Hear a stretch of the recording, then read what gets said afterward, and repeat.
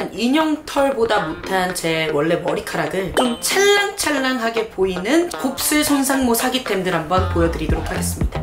자고로 손상못이라면 한 번쯤 들어봤을 그리고 한 번쯤 구매해봤을 가격에 비해 효과가 정말 좋았던 일단 향부터 너무 좋아 얘가 떡이 아니죠.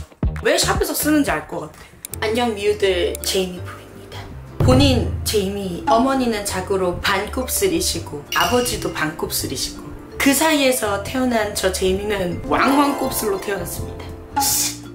그래서 어려서부터 매직 시술도 주기적으로 하고 고데기를 달고 살았습니다 저는. 고백합니다. 또 성인 되어서는 한때 마음속에 헛바람이 잔뜩 들어가지고 탈색과 염색을 반복하다가 가뜩이나 얇고 손상된 머리카락이 더더욱 고추바사삭 치킨 마냥 바사삭 돼버렸어요. 대머리 안 된 게 기적이라고 생각합니다. 이 죽어가는 인형털보다 못한 제 원래 머리카락을 조금이라도 소생시켜서 좀 찰랑찰랑하게 보이는 저의 곱슬 손상모 사기템들 한번 보여드리도록 하겠습니다. 자, 첫 번째 아이템은요. 자고로 손상모이라면 한 번쯤 들어봤을 그리고 한 번쯤 구매해봤을 너무 유명템인데요. 모레모 헤어 트리트먼트 미라클 2X 블루밍 에디션 제가 여러분 좋다는 트리트먼트라면 얼마나 다 싸그리 모아서 써봤겠습니까? 쿠팡에서 눈에 띄는 거라고는 다 구매해보고 올영 랭킹템들을 한 번씩 사용을 해봤는데 이 모레모 트리트먼트만큼 가격에 비해 효과가 정말 좋았던 트리트먼트는 은근히 찾기 힘들더라고요. 제가 지금 보여드리는 모레모 헤어 트리트먼트는 블루밍 에디션 이번에 floral 향 약간 꽃향기가 좀 추가되어서 나온 버전인데요. 모레모의 베스트셀러인 기존 오리지널 모레모 헤어 트리트먼트와 전성분 동일한데 여기다 아주 기분 좋은 floral 향이 추가되어서 나온 거예요. 제가 얼굴은 수부지인데 두피는 완전 극극극 민감 지성 두피거든요. 그래서 샴푸를 웬만하면 두피 세정력이 엄청 좋은 애들로 써야 돼요. 피지 조절 관련된 그런 샴푸를 많이 씁니다. 그래서 샴푸하고 머리카락은 정말 뻑뻑해지거든요. 근데 이 모레모 트리트먼트 쓰면 머리카락을 순식간으로 물미역처럼 샥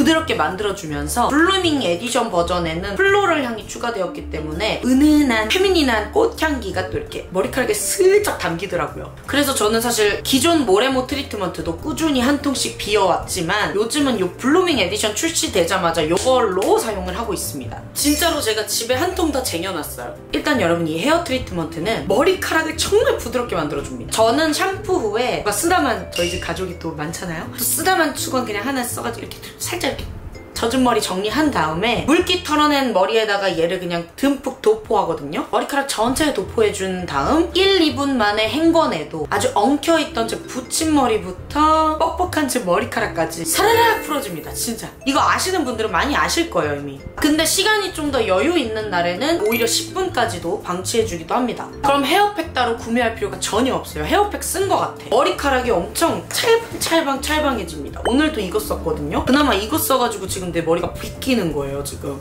사실 그리고 제가 많은 트리트먼트를 써봤지만 어떤 트리트먼트는 헹궈내자마자 다시 뻑 뻑해지는 트리트먼트도 많아요 그냥 그 일시적인 순간에만 찰랑거리는 그 못된 녀석들 근데 이 모레모 트리트먼트는 왜 제가 꾸준히 쓰냐면 얘로 절여준 날엔 수건을 갖다 대서 그냥 머리카락을 팡팡 털리든 드라이기를 갖다 대서 쫙 시원하게 말리든 머리카락이 정말 부드러워져 있거든요 지금 제 머리가 지금 이렇게 손가락으로 슥슥 빗기는 게 난 이거 트리트먼트 오늘 5분 정도 방치해줘서 라니까요 제 머리카락 진짜 노답이에요. 아까 before 대강 보셨죠? 제가 탈색 경험자잖아요? 우리 탈색한 미우들은 제발 이거 한 번씩 써봐. 이 트리트먼트 100% 만족할 거라고 저는 장담합니다. 가격 대비 너무 좋아서 트리트먼트는 사실 듬뿍듬뿍 쓰게 되잖아요. 가격이 좋아야 되는데 얘는 가격 대비 효과가 너무 좋다. 제가 원래 헤어 제품 추천 잘 안 하는 편인데 왜 제가 지금에서야 방구석에서 가만히 숨죽여서 저를 도와주더니 모레모 트리트먼트를 왜 굳이 지금 광고를 하냐면 지금 대용량으로 기획 세트가 나와서예요. 이것도 기획 세트거든요. 이렇게 기획 세트가 나왔습니다, 여러분.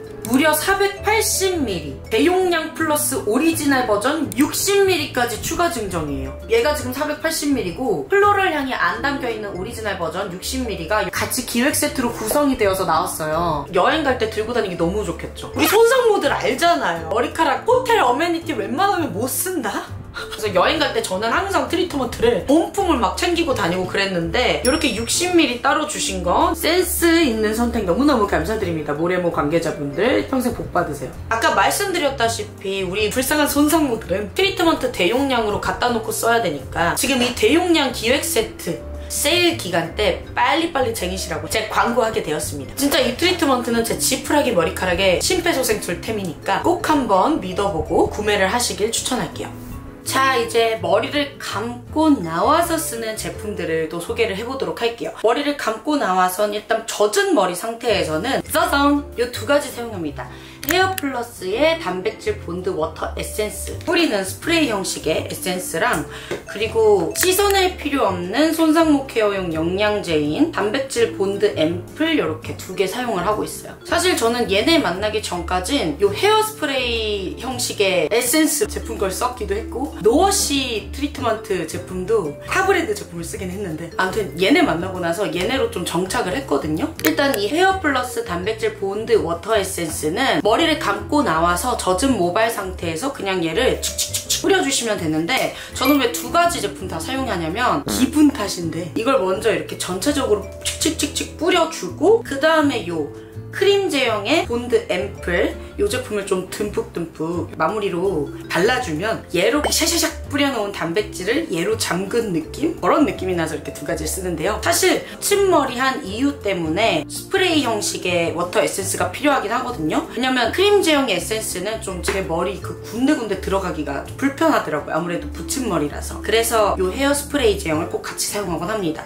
근데 헤어 플러스라는 브랜드를 우리 미우들도 좀 생소 하게 느끼는 분들이 많을 거예요. 저도 처음에 이 브랜드 만나고 났을 때는 음 처음 봐 너네 하고 약간 텃세를 부렸는데 어우 얘네가 알고 보니까 재구매율이 엄청 높은 브랜드더라고요. 이거 원래 제가 기존 제품을 썼거든요. 지금 이게 리뉴얼 된 거예요. 지금 이 리뉴얼 된 버전은 초저분자 단백질이 꽉꽉꽉 들어갔다고 합니다. 제형이 정말 진짜 전혀 끈적이지 않고 머리에 떡이 지지 않는 그런 제형이라서 너무 좋은데 일단 향부터 너무 좋아. 달달하지 않은데 뭔가 포근하면서 되게 좋은 향이 나고요. 머리에 그 향부터 시작해서 단백질이 꽉꽉꽉 채워지는 게 실시간으로 느껴지는 그런 no wash 영양제입니다. 그리고 이거는 우리 진짜 극손상모 머리카락 저처럼 지푸라기 된 미우들이 꼭 써봤으면 하는 두 번째 제품입니다. 자 그리고 머리를 이제 다 말렸잖아요 우리가 이제 말렸을 때 또 하나 필요합니다. 에퓨놀의 세라블루틴 스프레이예요. 이 제품처럼 머리에 물기가 있는 상태에서 사용하셔도 좋지만 얘는 열 보호 기능이 들어가 있어요. 이 손상모와 곱슬모를 차분하게 정리해주는 그런 헤어 스프레이 플러스 드라이나 고데기에서 받는 그 열, 열에 가한 손상을 최대한 막아주는 열 보호 기능이 들어가 있어서 고데기를 달고 자라야 하는 곱슬모가 머리 스타일링 하기 전에 칙칙칙 전체적으로 뿌려주고 그 다음에 스타일링 해주기 좋은 제품입니다. 일단 이 에퓨놀이란 브랜드가 꽤 이 헤어케어 제품들로